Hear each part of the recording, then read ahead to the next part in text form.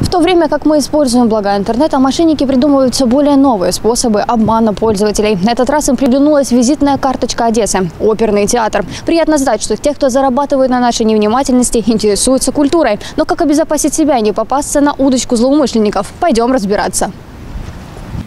Совсем недавно на просторах сети появился новый вид мошенничества – продажа билетов в театры через неофициальные сайты. Схема довольно простая, но, по-видимому, эффективная. В социальных сетях незнакомец предлагает провести время в театре, скидывает ссылку, где есть описание спектакля и выбор билетов для покупки. Правда, после оплаты покупатель остается ни с чем. Вкусы у мошенников хорошие, ведь для такой уловки они выбрали Одесскую оперу. По словам руководства театра, это может быть связано с обновлением официальной страницы оперного. Всего месяц назад у театра заработал новый сайт, где с полной уверенностью, что вас не обманут, можно приобрести билеты.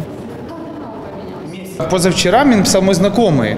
Говорит, Паша, 19 числа в, в оперном у вас спектакль, что-то с билетами не могу купить. Я говорю, какой спектакль? Он мне скидывает, ну Шинель. Я стоп, какая Шинель? У нас нет такого спектакля и не может быть. Это не опера, не балет. Говорит, так вот, и скидывает мне ссылку на сайт. А сайт, э, там написано э, опера Одесса, дефис афиша, com.ua.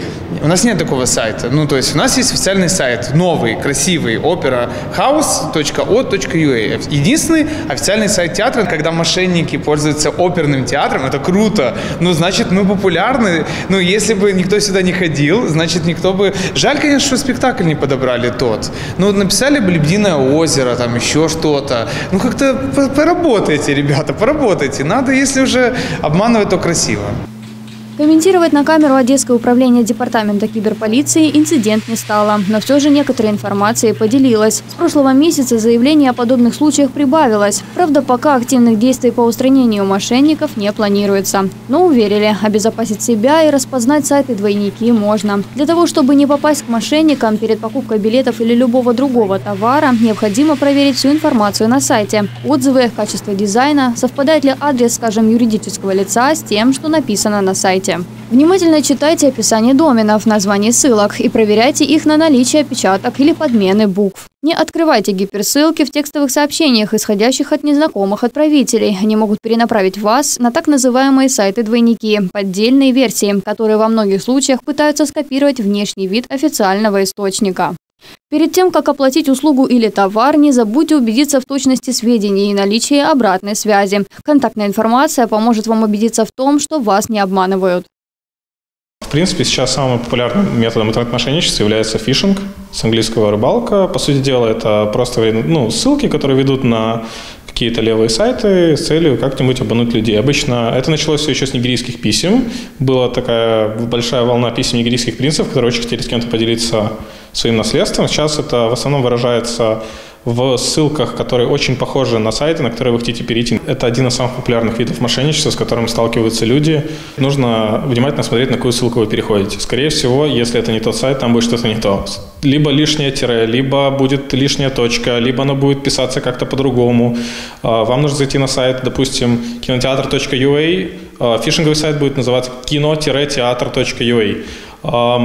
Обычно эти сайты делают графику только главной страницы. Если вы перейдете куда-то в раздел там э, пользовательского соглашения, он, скорее всего, не будет проработан. Скорее всего, там будут какие-то минусы по функционалу. Возможно, у них будет устаревший дизайн, потому что сайт мог быть сделан, допустим, два года назад, фишинговый, для того, чтобы заниматься мошенничеством. После этого официальный сайт э, той компании, который, ну, за которой себя выдают мошенники, э, мог быть изменен, он мог остаться предыдущим. Мошенничество в интернете, к сожалению, достаточно частое явление. Однако, понимая основные принципы работы киберпреступников, можно обезопасить себя и своих близких от рисков испортить себе настроение и потратить деньги впустую. Одесская опера призывает своих зрителей руководствоваться информацией исключительно с официального сайта театра и, конечно же, почаще посещать новые спектакли. Уже завтра, 20 ноября, в оперном состоится премьера моноспектакля «Ожидание». Для театра такой формат на большой сцене в новинку, потому каждый, кто работал над постановкой, надеется на поддержку зрителя.